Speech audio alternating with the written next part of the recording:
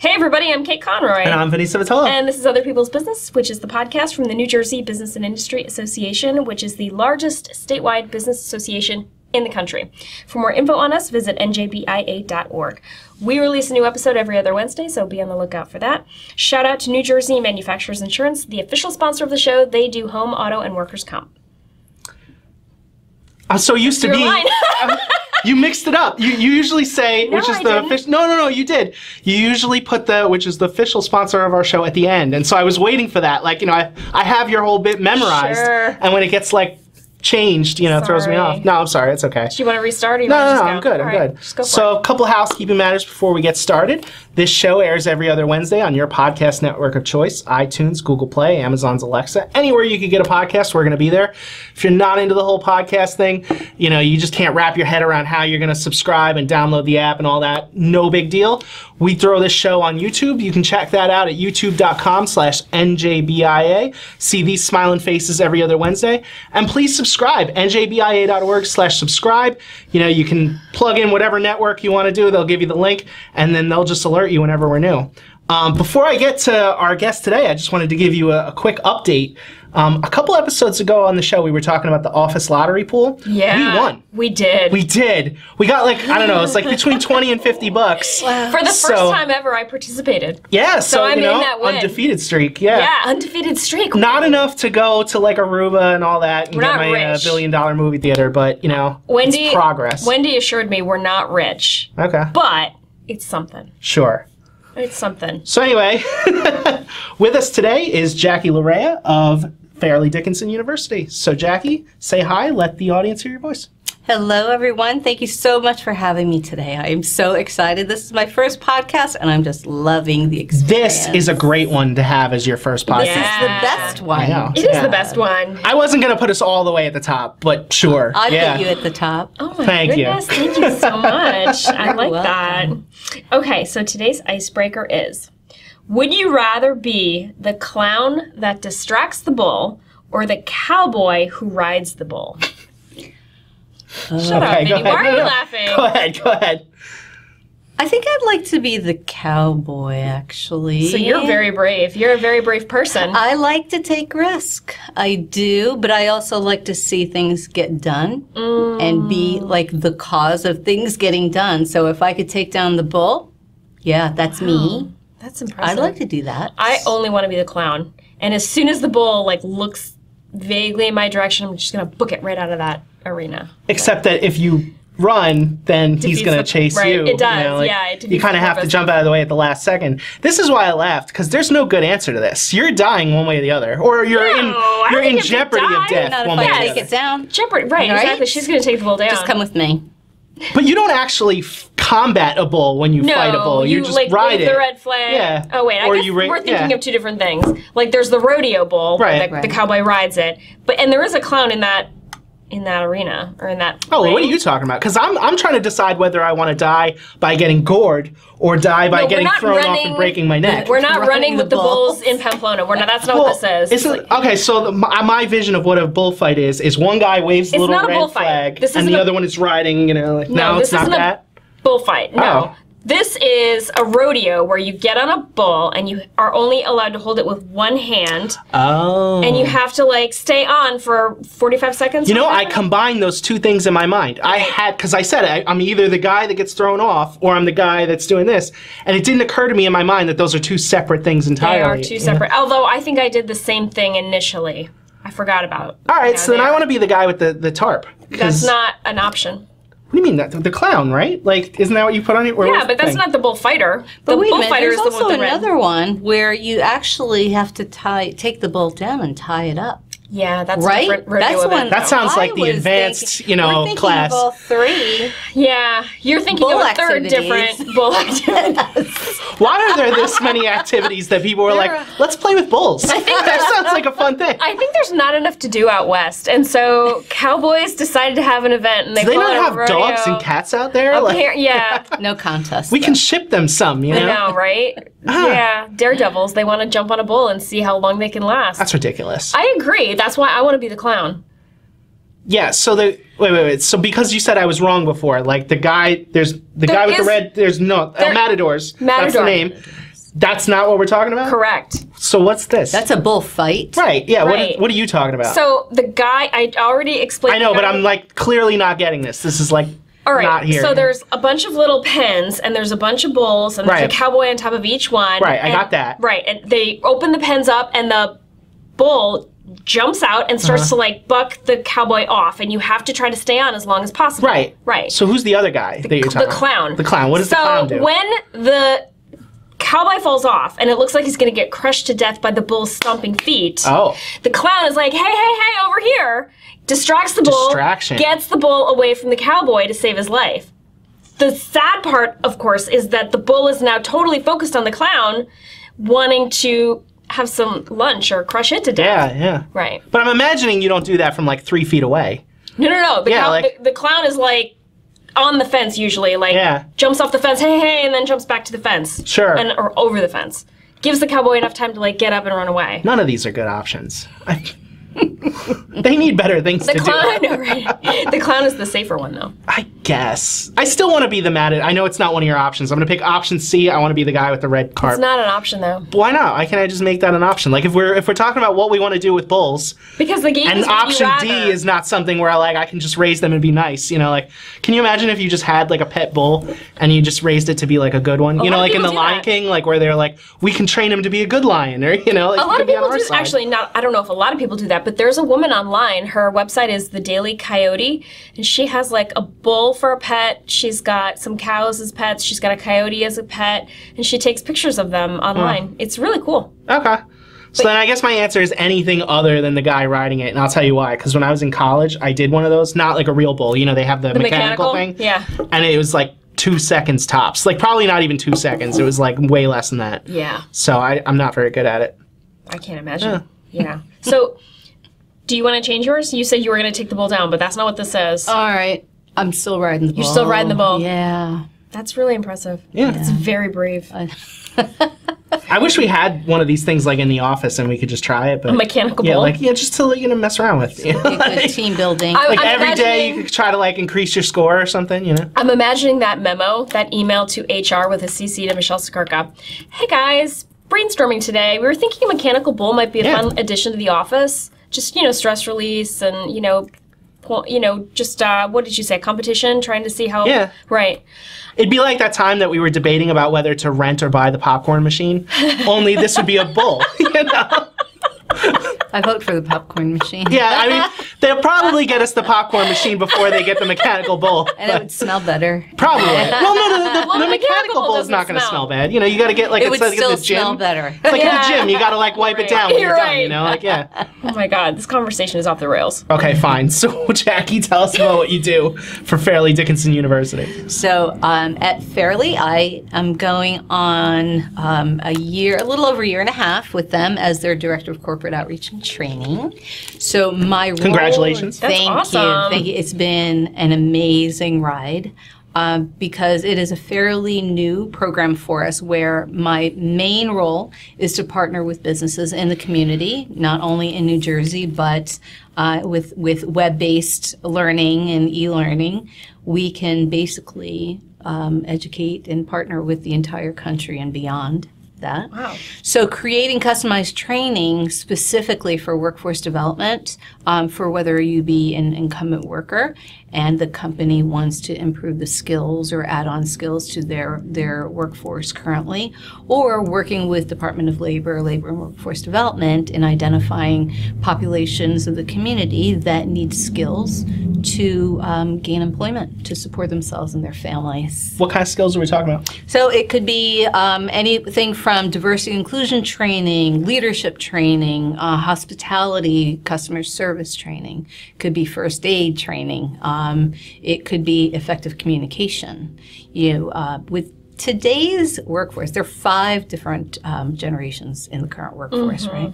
And so each of us, each generation, each individual, let me just say, has their unique favorite way to communicate. And there's no right way and there's no wrong way, but for certain situations, there's an appropriate way.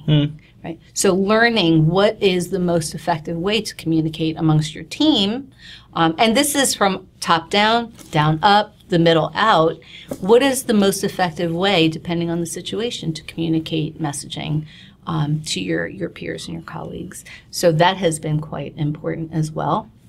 Project management has been huge. Uh, we do a lot with um, law enforcement as well, uh, a, a lot of training there.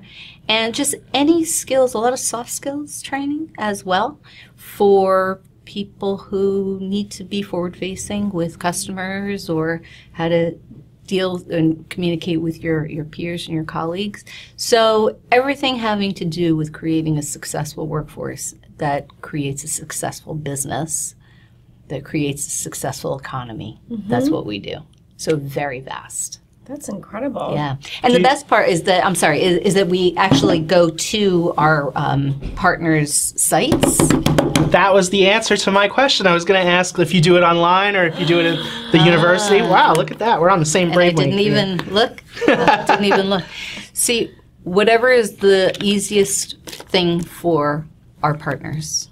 So there are some situations where partners want to come off-site Yeah. to do a bit of a retreat, if you will, Sure. to get out of the Yeah. normal environment, to get folks in a mindset of okay, this is let's separate work. Let's not be in front of our computers. Let's come and mm-hmm. be at a place that's different, maybe somewhere more relaxed. We have unbelievable sites at Fairleigh Dickinson University. We have two uh, campuses in New Jersey, one in Madison and one in uh, the Teaneck Hackensack area. So we have many options. So we brought I know where Hackensack is. Where's Madison? um, Florham Park, Morris County. Morris County. Okay. Yeah, yeah. So we've brought um, clients to us, and we have also gone to clients. They're different sites, different times, whatever is the most appropriate and convenient for them to deliver training to their people. Wow. Sweet. And we do online as well, Wow. if you so choose. But there's certain things that are just more meaningful if you could do it in person. And so we boast about um, the instructors and facilitators that we use that they are corporate or industry subject matter experts. So they're going to come in and talk about real world scenarios with the students and the trainees so that the applications of what they've learned is immediate. How many trainings would you say that you do in like a week or a month or a year? Oh gosh, that actually depends. I mean, we consistently at Petrocelli College, which is part of Fairleigh Dickinson University, that's the um, the College of Continuing Studies. We have programs that run all year, just as like a traditional college um, would. So fall, spring, and then summer sessions. With me, it could be um, 10 in a week it could be three in a day. It really depends on what the training is and what the client wants. So we have a lot of different programming yeah of note is uh, this this spanish program that we have for individuals who are primarily spanish speaking or want to finish their degree. So we deliver the programming um, in spanish with the goal of transitioning them into the English language, but the actual curricula is delivered in Spanish initially. We have a Korean program. We have, um, uh, we just try to meet the community where they need for us to be. So it's very exciting. That's really interesting. I had no idea that a, a Spanish language course was was offered. It's not a course. It is No, she's talking a- about No, the I know. entire degree. Yeah. I know. I'm sorry. That's not what I said. Isn't what I meant. You, you're right. Yes. Yeah. I So had no idea. This Yeah, is specialized, this specific. That's great. very, very exciting. Anything else?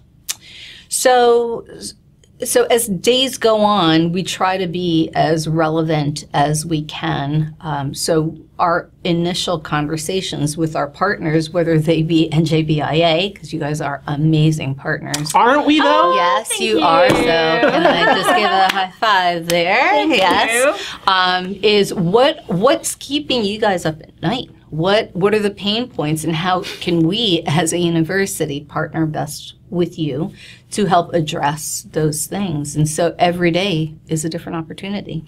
That is awesome. I gotta say, my the, my favorite thing about my job is that every day is a different day. Like every day is different from the day before, and that must be so nice to to meet with all kinds of different people and hear about their specific issues and customize, tailor a program just for them, knowing in your heart that this is going to like make a meaningful impact and help them in a serious way. I just love that. That's so cool. It is very cool. And we could be talking about leadership within organizations as well. Yeah, or or individuals who have never worked a day in their life. Right. Um, so again, the question of what do you need to be successful? Asking that question and hearing the answers, you could ask two people in the exact same room with the exact same company get two very different answers. So it is a true. very, very um, fun and exciting and innovative way to run business. Tell us more about Fairleigh Dickinson in general. I know that it's uh, it's been around for a long Well, time. Fairleigh is the largest private nonprofit um, institution in New Jersey of higher education. But what a lot of people don't realize, so I already mentioned our two campuses in New Jersey, but we also have one in Wroxton, um, England, and in Vancouver in Canada. So we are an international entity, and that's very, very exciting. Um, and what makes it even more exciting here in New Jersey is that New Jersey, I think, ranks the second most diverse population in the country. So when we can say that we are made up, our, our you know, we are entrenched in diversity and different parts of the world, that really gives us a lot of credibility. Um, our faculty, our students reflect that diversity as well. So we're very, very proud of that, especially with um, what's so important now with diversity and inclusion in every aspect of business and life in general. So we have been able to uh, capitalize on all of our experiences uh, with diversity and inclusion and just being, um, you know, in a lot of places in the world. So that is very, very exciting. Cool. Anything else we should know before we jump to something else? Jump to a break? Um, well, just know that we are open to any kind of innovation, any kind of great ideas that our business partners have that they want to um, embark on. And we do have the, the ability and the want, the desire uh, to be flexible and innovative with the community and with our partners. So That's fabulous. So often you hear somebody will bring an idea and they'll be like, nope, can't do it. Too outside the box. Nope, it's too expensive. Nope, to this, to that. And it's great that you're just like, we'll explore just about anything. It, because you never know what's going to work anymore. Right. And it could be several different things. But if you make a mistake, you learn from the mistake and you correct it. But in today's age where the need and the want of um, the people that we're trying to provide services to is so diverse as far as modes of communication and times that they want to learn and times that they can learn and what they mm-hmm. want to learn, mm-hmm. you have to be innovative and flexible and mm-hmm. adaptable. So we are definitely going to be continuing that and just open to any conversation. Uh, my, my question to everyone is what is your wish list? Let's start there. Wow. And let's see if we can do it. And you guys started as a traditional four year degree university, right? Well, actually, Petrocelli started as a two-year, Really? right? And then um, we we uh, enveloped into uh, into Fairleigh Dickinson University, and now we we offer bachelor's and master's degrees as well. So we've become traditional yet Outside the box. Yeah. Yes, That's really cool. yes. All right, very good. Mm-hmm. So I think we're going to take a break. And when we come back, we're going to play Awful or Awesome.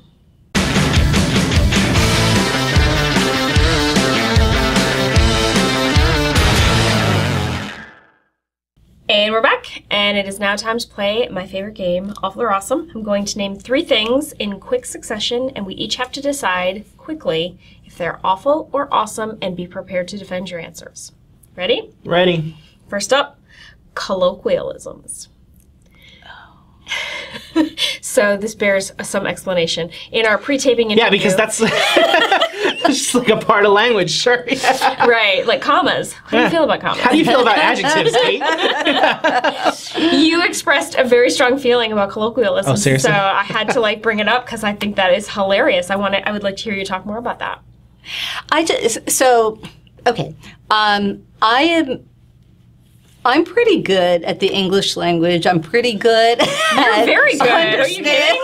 It is my primary and only language, but I'm pretty good at English. I don't speak anything else. I don't speak anything else except for a little Jamaican. But um, the thoughts that have to go into responses that are appropriate when people speak in colloquialisms, it makes you stop and think about, all right, what do they really mean? Right. So, like, should we give an example in case there's anybody out there? Like, Please, yes. so, um, throwing the baby out with the bathwater.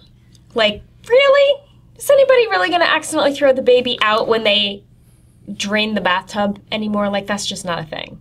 It's not a thing, right? Mm. And I'm very visual, so I know Yes. they're not saying specifically No. don't throw the baby out with the bathwater, but can you just tell me what you're Right. trying to say? Right. Just to don't over is that does it mean don't overreact? I still don't really know I what think it it means. means going, taking something so far that it becomes destructive.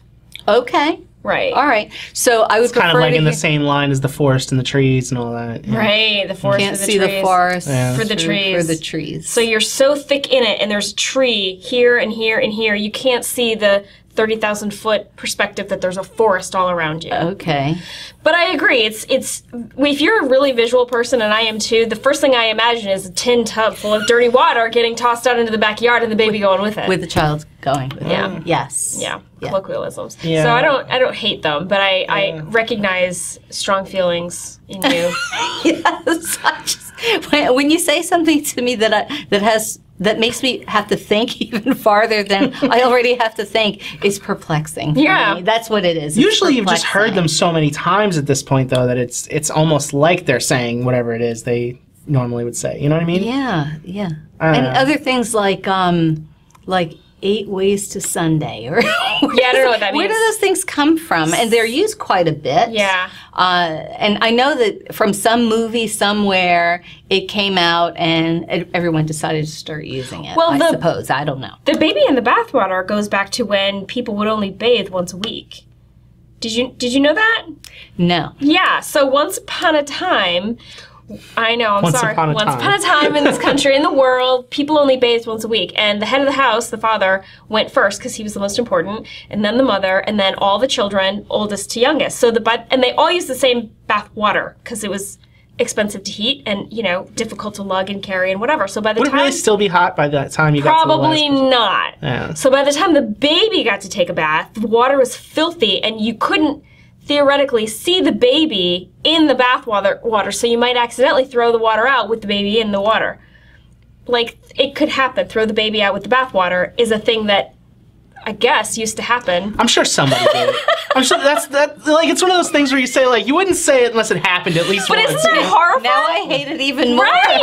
I know, it's horrifying. Okay. Like, I don't want to take a bath in water that eight other people have already, and they had big families back then because, you know, so many infant mortality rate was high, and you got to mm-hmm. plant the farm somehow, and it's god awful. Okay, so you reinforce why I don't like those guys. Yeah. so thank you. Yeah. For Right, that. or rule Eight- of thumb. Rule of thumb is terrible. Rule of thumb is of terrible. thumb. Do you know where that comes from? No. In the Bible, there is a verse about how you're allowed to beat your wife, but only with a, a stick no bigger than your thumb.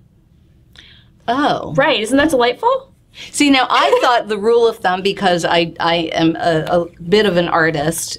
This. Oh, that, right? no, So the rule not- of thumb is to measure proportion, That's not it. but that's not it. That's not it. Not even so you're not even like responding properly to the person because you have no idea what they're saying. Right. So there you hmm. go. Yeah. All right. I, I think after this conversation, I'm with you. Colloquialisms are confusing and difficult. They should not be used. Straight up, just tell me what you mean. Right. Just tell me what you mean. Yeah, just straight up. I'm yeah. Either I, I'm pretty neutral on this. I don't. You know, like I guess through context clues, even if you'd never heard one of these things, you usually just figure out what the person wants to say. It's it's part of our speech. You know, these things Yeah. come up all the time. So I never actually thought about it until right now.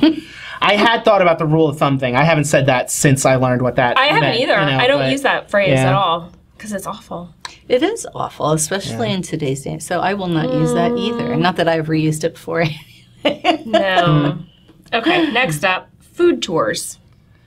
You know, I've never been on one, but I, I'd probably love to do it. So Yeah. we'll go with awesome. Yeah, Awesome. Yeah. I think they're awesome. I love them because they're usually walking, so there's a little bit of exercise which offsets whatever food you're going to eat. And uh, the food's usually really, really good, so I'm down for it. I like food tours. Totally awesome because when I visit other countries, I like to go into the markets. And That one of sounds the like a great time to do one. the, the, the, one of the greatest trips I ever went on was to um, South Korea. And we went into the nighttime fish seafood market. And you literally can just choose whatever you want, and then you bring it up uh, along the entire perimeter. Upstairs are these different restaurants that you can Oh bring my your food, gosh. and they cook it right up, and you sit and you eat it, and it's just, it's just seeing how that community, that neighborhood lives That's incredible is the best, and it's food. when you first said nighttime fish market, I was like, as opposed to the daytime fish market, I couldn't, I wasn't, but that is awesome. So you bring it to a restaurant and they just cook it for you. Yes. Yeah. I don't know whether it's in Asia or not, but Asia, uh, a number of countries in Asia like night markets. Hmm. So they will stay o- open until wee hours of the night, and that is the entertainment for the family, dates, whatever. And it's pretty cool. Which is weird because I've always thought that the fish markets open first. Like if you want to get Yeah, the, fresh the fish best yeah. fish at the fish market, you have to get there at like four in the morning. And you probably would still do that, but this is really for your consumption, Right. For personal consumption. sure. But if you if you have a store, if you have your own store and you sell seafood, you're going to want to get there because there's I guess constantly being replenished throughout Yeah. the night, and so to get the freshest, you want to go as late as possible in the wee hours of the morning. But yeah, this is really for um, communities, families to go in and have a really fresh seafood dinner. I've never heard of that before. That's Oh, it's amazing. and you'd never know that they were there unless No. you had a lookalike take you. Uh huh. Yeah. It's cool. Very cool. Yeah, I definitely want to give one a try. I actually had never even heard of food tours as a concept until we did our big shot um, contest. I want to say last year. Mm-hmm. Yeah, last year. 20 no maybe 2017 because it was oh no okay it went from 2017 into 2018 Yeah. so yeah but uh, jersey city food tours was one of our finalists that was the first one i had ever heard of and now i know that this is like a thing people do and i'm like down for it so. Yeah, I did one for um, the Lower East Side of Manhattan, and it started at City Hall with a, a stroopwafel, and then we went to Chinatown and got what's dumplings. shoot waffle It's like a little dessert. It's like Waffle. a cookie thing. It's a waffle cookie with like something sweet inside of it. It's like a really thin sandwich cookie. so like an oreo but waffle yeah, okay and really thin, like super, super, super thin. And then we did Chinatown for a dumpling, and then we did um, a dumpling yeah, we each got a dumpling. well i guess you can't really eat that No, much at each place just- if you're going to eat it's just a bite. places, yeah we went to Little Italy and we got fresh mozzarella and prosciutto. Mm. And then we went to this um, Jewish bakery and we got knishes. And we went to a German beer garden and we got pretzels. Like it was a really fun little. wa- wow. And as we were walking from one place to another, we got like a little historic conversation about what the neighborhood was. It was really fun. That is fun. Yeah, I'm a big fan of food tours. I just love eating, so yeah. I know. with you on that one I'm Totally. a fan. All right, last one. The circus. oh the circus they they don't do it anymore right I think they do enough of them. I don't know. I I thought I remember, at least Barnum and Bailey definitely closed down, right? Right, but I think Big Apple Circus is still a thing. Is that a thing? I think so. Uh, I don't know. I haven't seen the circus since I was a little kid, and uh, it's weird now. I've got a kid of my own, and I don't. She'll never see the circus, I guess, unless I go to that one. I don't know. I, but Yeah, so are do you think she's missing out on I don't something? know. I mean, yeah, I don't know. I guess it's like it's one of those things. Like where else? I mean, I'm not going to take her to India. Where else are you going to see like elephants and? Well, I guess you could go to the to zoo, the right? zoo, Do they have elephants at the zoo? I, Totally. Oh, Do sure. they? Hundred percent. Okay. Huh.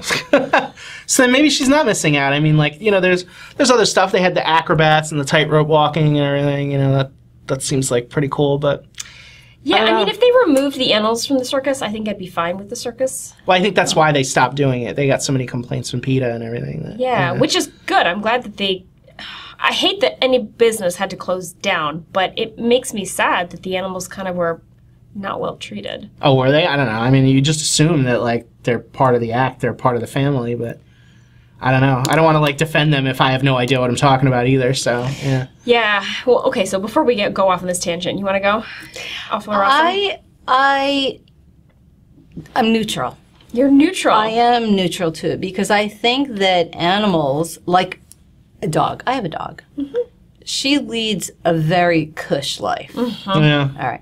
So um, I believe that in the circus, the reputable ones treated their animals like I treat my dog. Yeah. Very cush and very well taken care of. And so we actually, when I was in Thailand, I, I had this thing for tigers and I had this opportunity to take a picture and a video with a live tiger.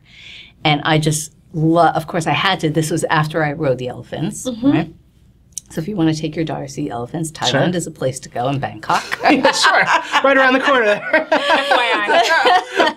But yeah, this tiger, I literally had my head on his head, and they're like, "Oh, you know, he's chained up and he's sedated." Yeah, I'm like, say. but he's well style. fed and he's beautifully clean and he's gorgeous and he doesn't seem unhappy. And the, his friends are in their very huge pens running around with freedom. And this guy just happens to be the one that you take pictures with right now. Hmm. so um, they're like yeah probably mistreated but man is that cool. So uh, that's why i'm kind of there's certain people that i know abuse animals or certain entities that abuse animals but then there are others that i think Treated treat them, as well. part of the family. Okay. Yeah. I, yeah. I would have liked to have seen them, I don't know, keep the circus going, but maybe either like remove the animals because, you know, you can still do it with the tightrope walking and the, That's cool. the trapeze and everything. like, Or maybe have like greater oversight from animal activist groups to make sure that everything's going right. I don't know. I remember as a child going to the circus like on a school field trip, and it mm. was a big deal. And you know, there were three rings, and the clowns were really fun, and the tightrope walker, and the trapeze artist. That was really really fun.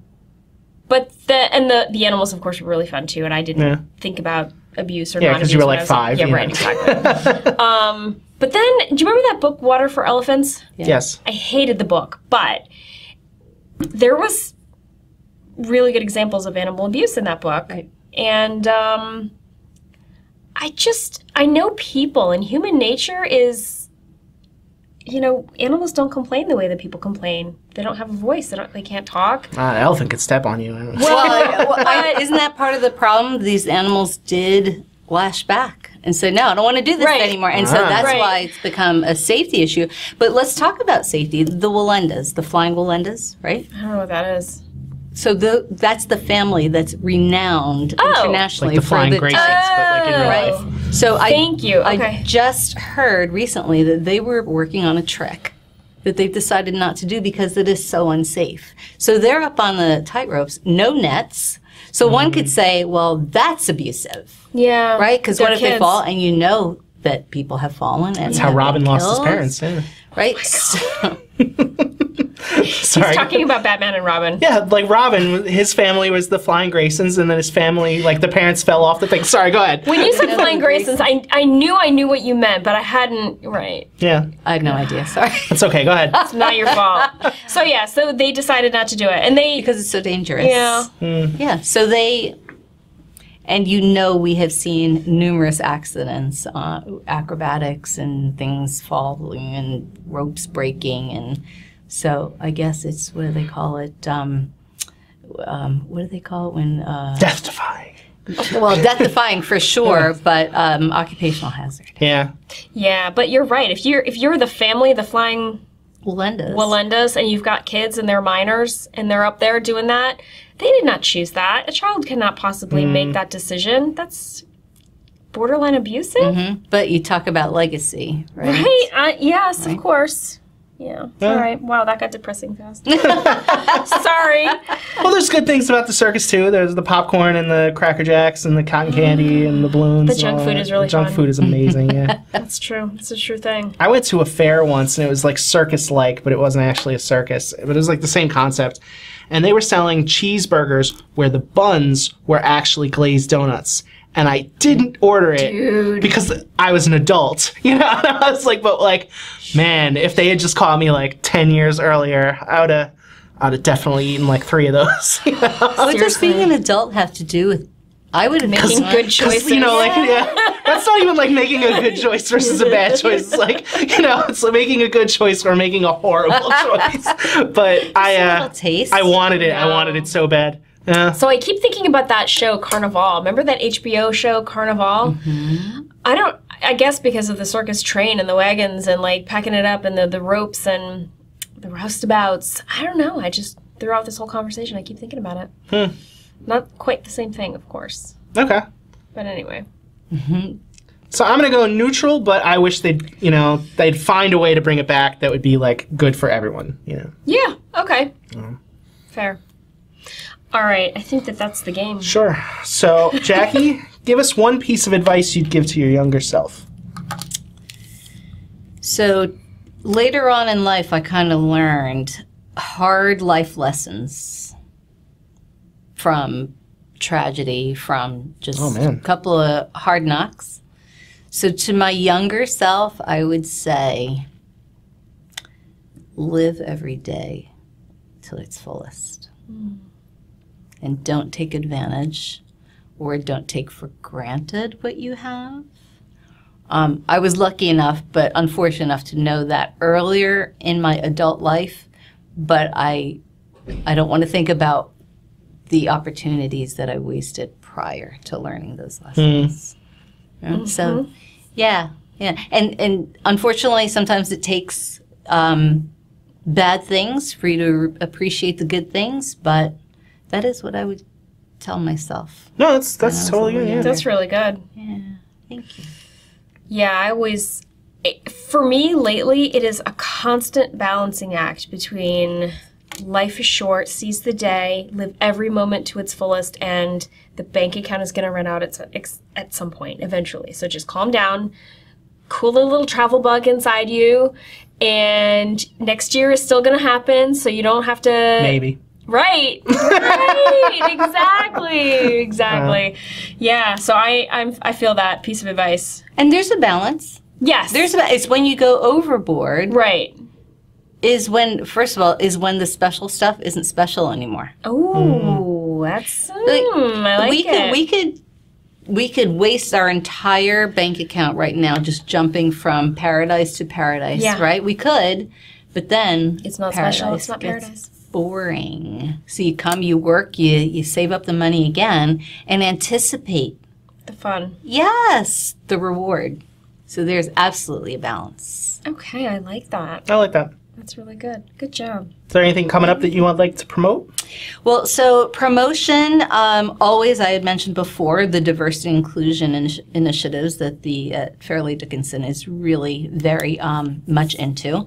But more than promoting, I would like to just say thank you to Michelle Sakirka and the entire team at NJBIA for what you did in collaboration with us back um, in the at the end of winter, beginning of spring at our um, workplace diversity, which was our diversity inclusion um, conferences at both of our campuses at uh, Madison and in um, where we invited businesses in the community in to talk about this very very hot topic.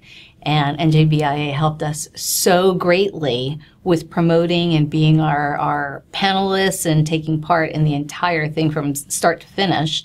And it would not have been nearly as successful as it was without NJBIA. Wow. So That's thank awesome. you. Yeah, you're welcome. Shout out to Michelle. I'm actually going to say you're welcome on that one because I filmed something like four videos promoting that event. oh, you did? Yeah. That's funny. Yeah, well, Rock on. yeah. So we're taking total credit for it. Yeah. Please do.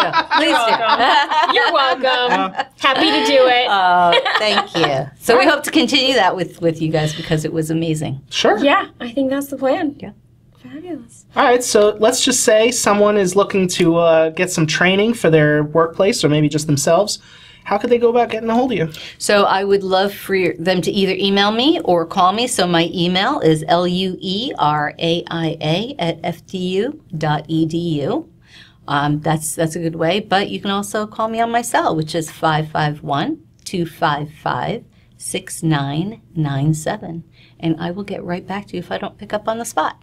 So yeah, anxious Nobody to talk picks to up everyone. an unknown number on the spot anymore. I do. all robocall. I You do, because you Oh, never man. know. All right, you sure. never Gosh. know. I don't know. I, I've taken on this like thing of like important ones will go to voicemail and somebody will be like, "Oh, I'm a real caller." Yes. I'd rather make that determination than to um, miss the opportunity to help someone. Sure. No, that's that's a good plan. I like it. Very cool. All right. Well, I think that's our show. That's our show. Yeah. Thank you to our listeners, especially subscribers. We really appreciate the support. Uh, thank you to New Jersey Manufacturers Insurance Group, the official sponsor of the show. They do home, auto, and workers' comp, so check them out. And finally, thank you to Jackie Lue Raia from Fairleigh Dickinson University for joining us today. Yeah, thank you very much. Thank you for having me again. Oh, this is it's our great pleasure. fun. it was our pleasure. All right, we'll see you next time. Bye.